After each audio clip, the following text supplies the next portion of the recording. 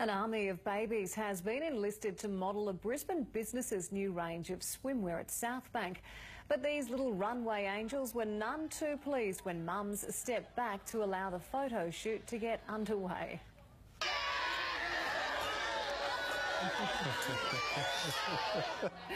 the Cancer Council received a cheque from Rashoodz, a line of clothing designed to protect children from the sun's harmful rays.